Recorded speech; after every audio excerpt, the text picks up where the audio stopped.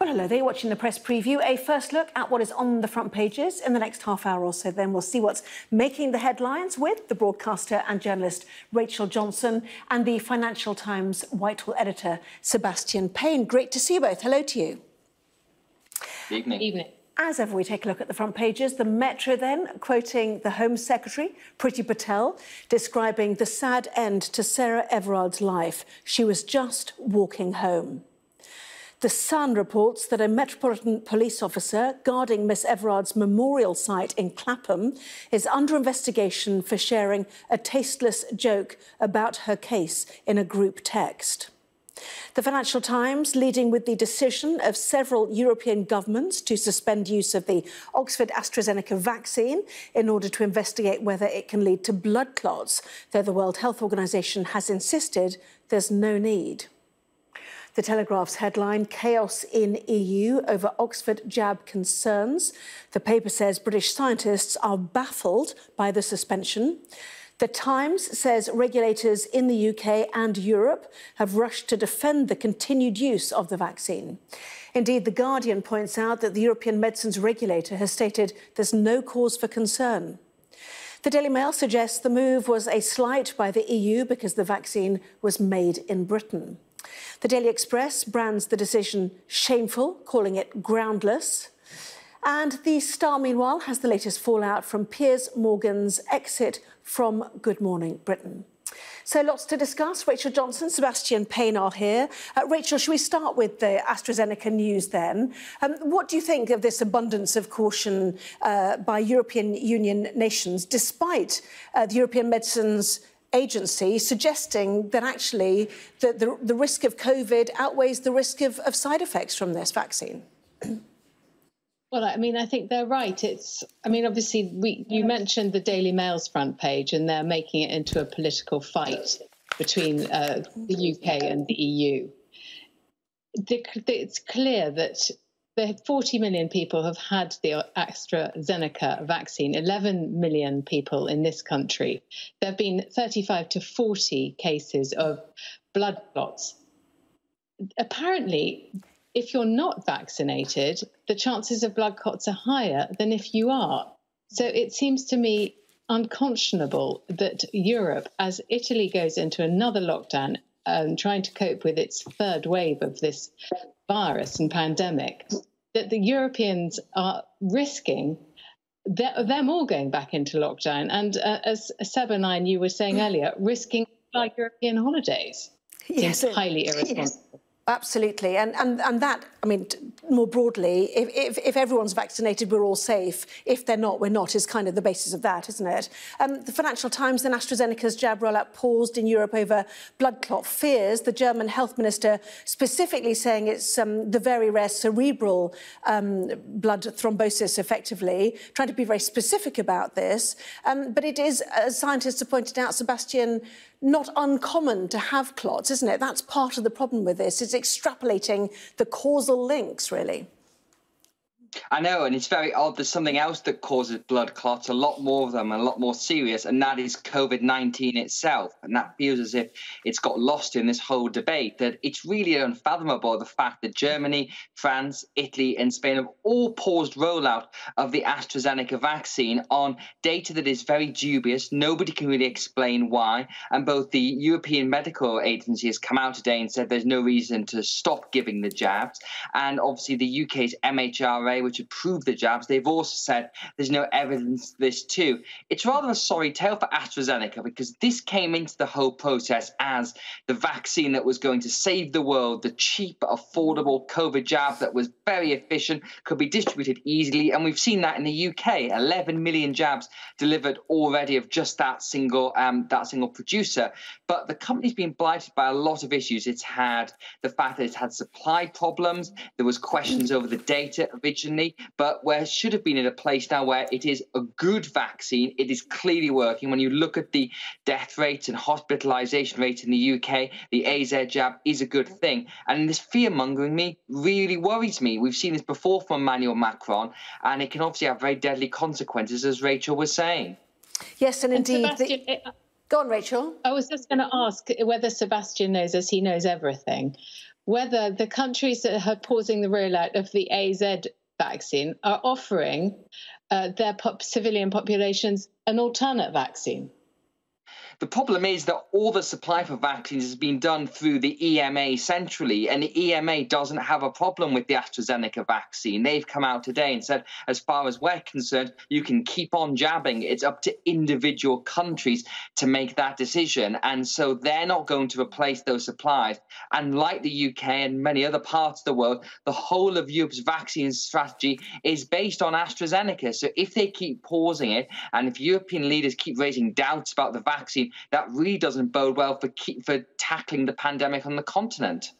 Uh, and interestingly, actually, Rachel, um, sort of uh, next to your question, not quite similarly, Mexico has asked America for their doses of AstraZeneca, which they've not yet given permission for. They obviously wanted more studies done on the over 65. So while it's not being used, Mexico said, give it to us. So people still want it. But it is really important, isn't it, this, this vaccine, because it's cheaper and it only requires refrigeration, not freezing, and all of that for the rollout to the rest of the world, which is why reputational damage to this vaccine, which has already been clobbered by the questions about its efficacy in over 65s, that could be really serious, couldn't it, globally?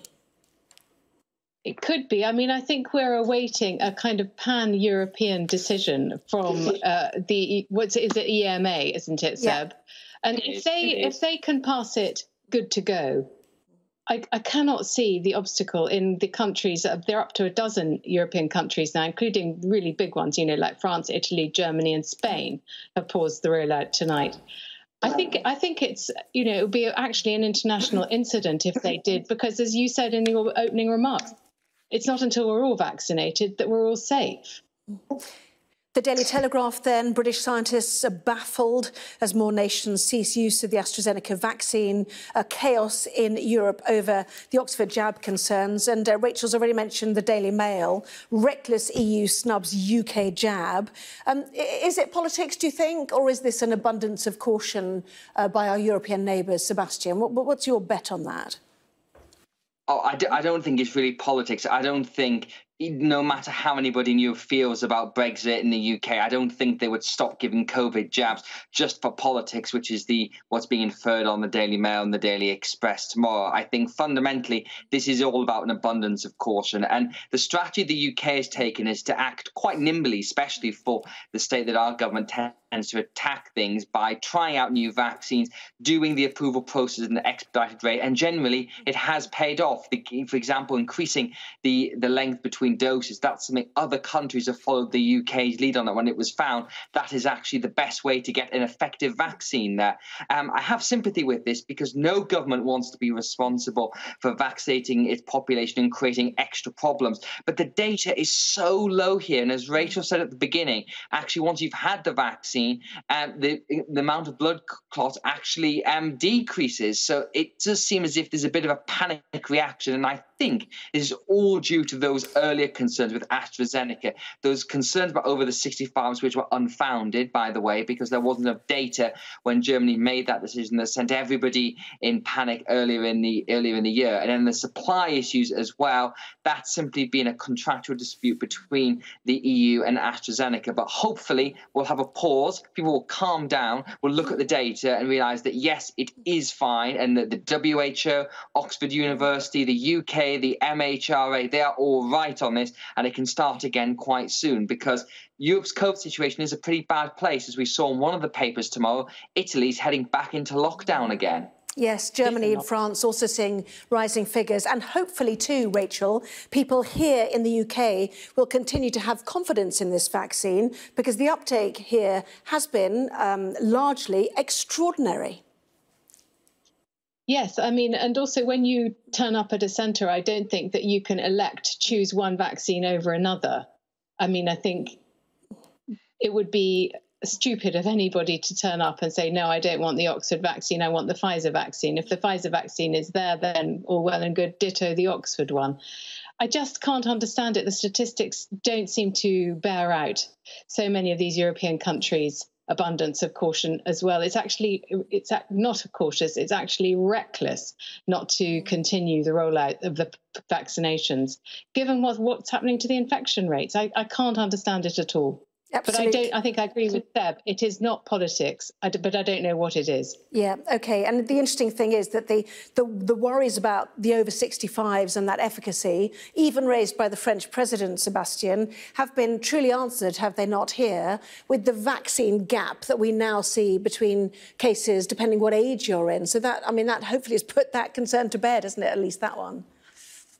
Absolutely. And when these reports came out from Germany about the fact it wasn't going to get approved for over 65s, it wasn't because there wasn't data or data to the contrary. It's because they didn't have enough of it. They were saying, we're not going to approve this because we're not certain enough. But really, what you're seeing in the UK is a mass trial. You know, it's at 11 million people, plus 7 million of these jabs have been delivered across the EU already. And when you look, there is a very clear um, mark now on those charts between the effects of lockdown and social distancing, but clearly the effects of the vaccine. The key thing the AstraZeneca jab has done is to break that link between infections and serious illness, because that's what's caused all the problems over the past year. That people get COVID, a certain portion get them get very ill, and in a certain portion of those end up in hospital. That's the key thing that governments have been trying to address. And whether it's Pfizer, AstraZeneca, or Moderna, all those vaccines do seem to have done that. I should say on the AZ jab, though, the key indication of this, of course, will be America. The director of the National Health Institute, which is the US equivalent of the MHRA, they're currently reviewing the data, and the US could approve AstraZeneca within a month. And if that does happen, then that could certainly put the whole world in a much better place and try and rebuild some of that much needed confidence in this jab. Absolutely. And the European uh, Medicines Regulator, we understand, meeting tomorrow, decision hopefully by Thursday. So we'll see if this is indeed a, a temporary pause. Um, both of you, thank you so much for now. Plenty more still to come, including as the fallout from the Sarah Everard case continues, we will discuss the parallel issues of women's safety and the right to protest. Join us after the break. Well, welcome back. You're watching the press preview with me now, Rachel Johnson and Sebastian Payne. Welcome back. Here, there you are. Welcome back to both of you. Um, plenty of coverage uh, also about the Sarah Everard murder, the vigil that we saw at the weekend, the statement from Priti Patel uh, in the House of Commons today, and the policing bill. It's all kind of wrapped together now, isn't it, Sebastian? Uh, the Metro taking it very straight, really. Priti Patel's heartache over Sarah. She was just walking home. The five words that sum up the emotions that have triggered this outpouring.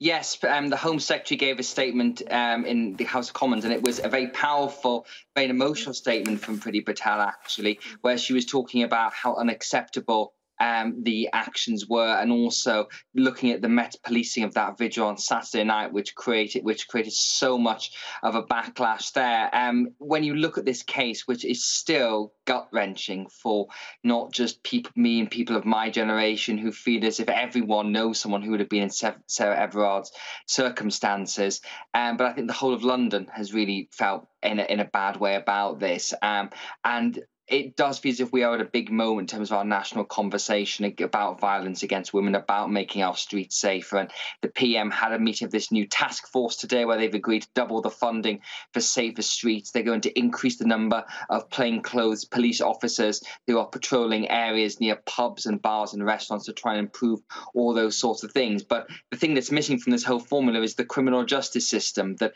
when you look at the tiny proportion of actual prosecutions and convictions that go down, down on violence against women.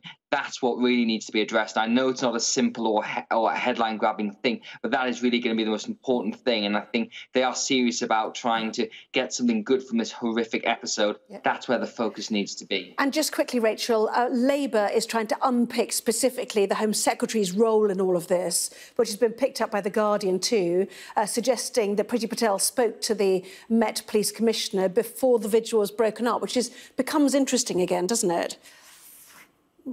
Well, yeah, it, it, does raise the question as to what was the plan for this vigil, and was the the manhandling of female protesters um, arranged in advance? I mean, did they have any sense of what they were going to do? I've spoken to people because I hosted a radio show for two hours.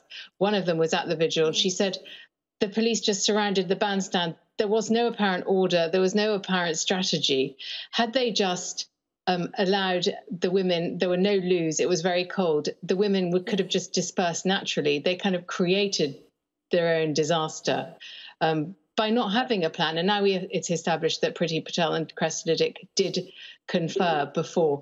I have to say, though, um, I, speaking as a woman, would find it ironic if either Priti Patel or the or the Met Commissioner mm had to go over this issue. Um, ironic that a, a, really top woman's head would roll over an issue of male violence against women. I think they are trying to do their best. I think Cressida Dick has the confidence of the Home Secretary and the Prime Minister. That was made very clear. Um, mm. I know that everybody's going to hide under the cover and kick it, this into the long grass uh, around the investigations that have been announced. Um, there were two investigations announced yesterday. Rachel. But there is money on the table as well. OK, we will talk more about that at half 11. There's plenty to discuss, isn't there? Rachel, Sebastian, thank you both. Thank you.